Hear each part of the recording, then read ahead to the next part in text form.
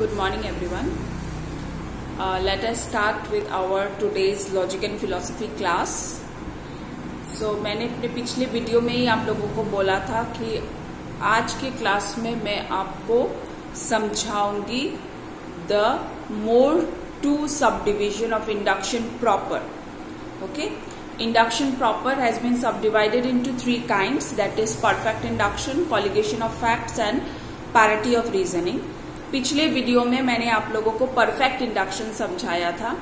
इस वीडियो में मैं आप लोगों को समझाऊँगी colligation of facts and parity of reasoning ठीक है? So let us start with what is colligation of facts okay so induction improperly so called is of three kinds. That is induction, perfect induction colligation of facts and parity of reasoning.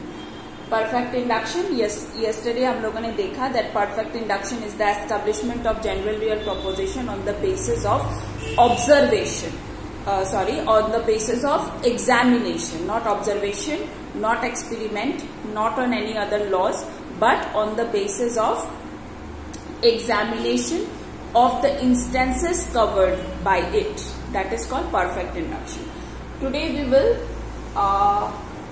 understand what is colligation of facts what is the meaning of colligation of facts सबसे पहले ये देख लेते हैं। Colligation of facts का मतलब है union of facts colligation of facts का मतलब है यूनियन ऑफ़ फैक्ट्स ठीक है? ना what does colligation of facts means it means that in order to know about any objects in this world and give it a name okay okay? किसी भी object के बारे में जानने के लिए या फिर उसको एक नाम देने के लिए, उसको एक डिस्क्रिप्शन देने के लिए हम लोगों को उसके सारे डिफरेंट फैक्ट्स के बारे में जानना पड़ता है ओके लाइक फॉर एग्ज़ाम्पल अगर मैं कभी आप लोगों को एक टेबल के बारे में बताऊँ और मैं सिर्फ़ एक ही फैक्ट एक ही क्वालिटी ऑफ़ द टेबल के बारे में बताऊँ कि it is a object in which we can keep से copies and pen and we can write सिर्फ़ एक ही क्वालिटी uh, मैंने आप लोगों को बताया एक ही फैक्ट तो क्या ये एक ही फैक्ट सुन के आप लोग गैस कर सकते हो मैं किसके बारे में बात कर रही हूँ?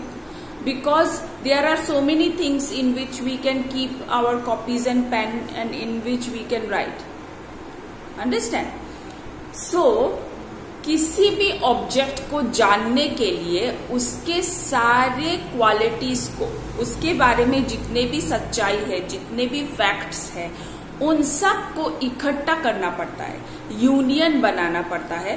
फिर हम लोगों को समझ में आता है कि वो चीज़ क्या है। Okay then we can describe that object और thing so that is called union of fact so to make it more clear let me give you an example suppose एक लड़के को आ, किसी नदी के किनारे एक चमचमाता हुआ पत्थर मिला okay a hard black stone ठीक है? तो उसने वो पत्थर उठाया। उठाने के बाद उसको समझ में नहीं आ रहा था कि वो पत्थर है क्या okay what it's a new kind of stone according to him उसने पहले कभी आ, ऐसा स्टोन नदी के किनारे नहीं देखा होगा फ़र्स्ट टाइम देखा होगा। सो so, उसने वो स्टोन उठाया। फिर उसको पता कैसे चलेगा कि वो एक्चुअल में है क्या? उसको पता तब चलेगा जब वो सारे प्रॉपर्टीज़ ऑफ़ द स्टोन वो जो चीज़ उसको मिला है जो स्टोन जैसे दिख रहा है उसका सारे प्रॉपर्टीज़ जब वो एक साथ मिलाएगा। When everything will come into an union.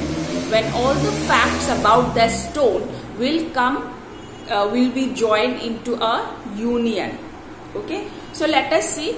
वो जो चीज़ उसको मिला था स्टोन जैसा दिख रहा था इट वॉज़ हार्ड सबसे पहला क्वालिटी सॉलिड हार्ड सॉलिड दूसरा it was black in colour तीसरा इट वॉज़ शाइनिंग चौथा it it does not have a particular shape just uh, uh, it, it is shaped like uh, say stone or it is shaped like a square or circle maybe of any any uh, shape because stone can be of any shape So he thought that it may be it is a hard metal or it is a stone.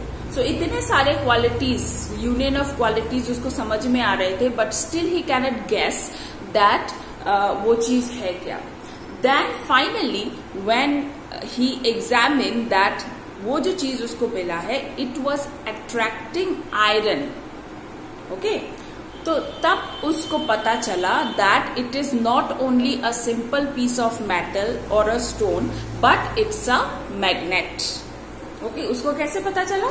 जब उसने उस magnet के सारे properties को एक union में पिरोया, तब उसको पता चला. Okay so that is call union of facts और कॉलिगेशन ऑफ़ फैक्ट्स सो उस मैग्नेट के बारे में तभी पता चला जब उस मैग्नेट के बारे में सारे क्वालिटीज हमें पता चला इन यूनियन इसी तरह से if you think of anything in this world किसी भी चीज़ को जानने के लिए, उसके बारे में जितने भी फैक्ट्स है, जब वो सारे फैक्ट्स हम लोगों को पता चलेगा in a union in a group तब हम लोगों को, हम लोग डिस्क्राइब कर पाएँगे कि एक्चुअल में वो चीज़ क्या है।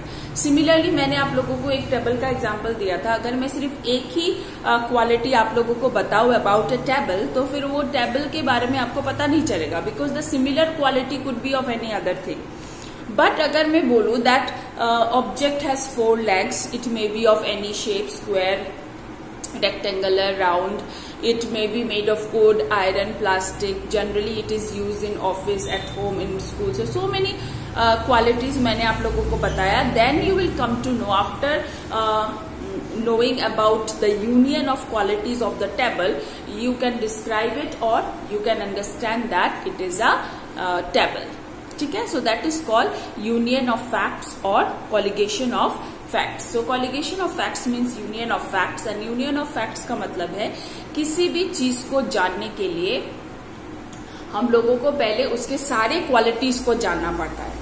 जब हम लोग सारे क्वालिटीज को एक साथ लाते हैं, तभी हमें पता चलता है कि वो चीज़ है क्या व्हाट डज इट मीन उसका नाम क्या है। अदरवाइज़ सिर्फ़ एक या दो फैक्ट्स अगर हम लोग किसी चीज़ के बारे में जाने तो हम लोग कभी भी उसको डिस्क्राइब नहीं कर सकते। हम लोगों को कभी भी उसका नाम पता नहीं चल सकता। okay understood clear what is union of facts. So this is the second uh, subdivision of induction proper i think i have made myself clear. So let us go to the third subdivision. And uh, what is the third subdivision? The third sub subdivision of induction improperly so called is parity of reasoning. Okay?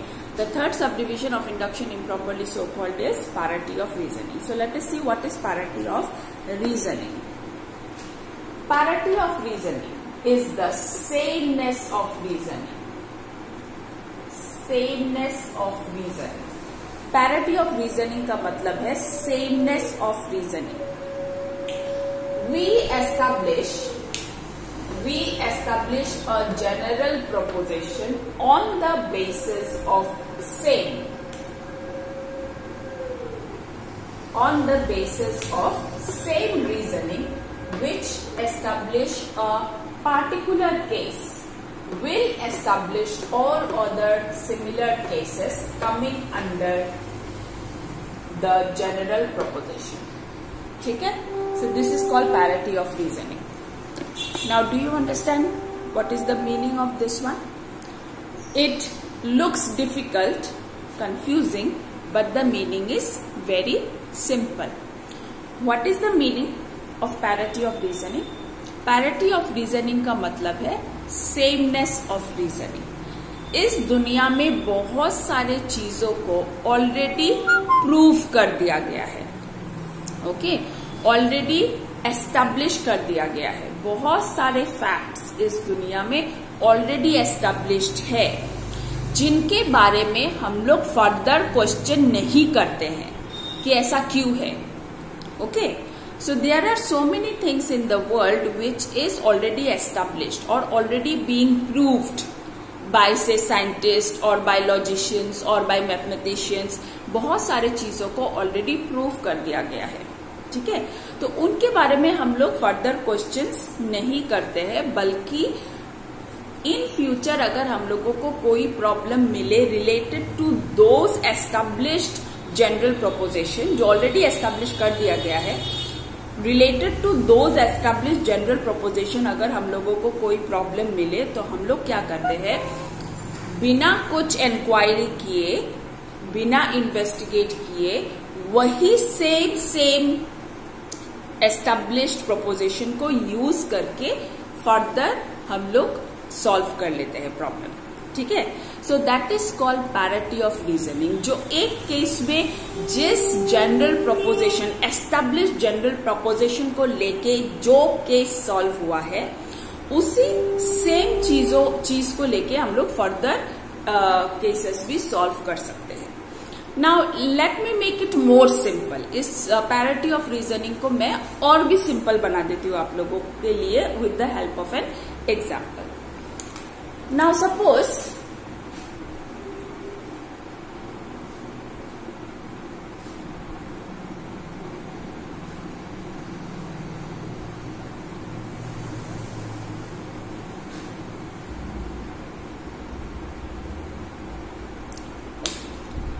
what is this सबको पता है।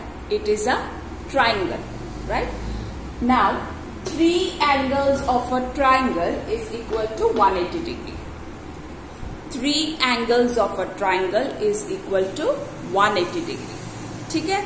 Class nine ten के maths में आप लोगों ने पढ़ा होगा ज्योमेट्री में। ये पढ़ा होगा। जब कोई ट्राइंगल को लेके आप लोगों को अगर आपके सर ने कोई आ, से थियोरम सॉल्व करने के लिए दिया हो ज्योमेट्री में तो क्या पहले आप लोगों ने ट्रायंगल को सर्च किया? ओके? पहले क्या आप लोगों ने खोज के निकाला कि ट्रायंगल कैसे होता है? What is the shape of the triangle what are the degrees of the three angles of the triangle ये सब खोज के निकाला।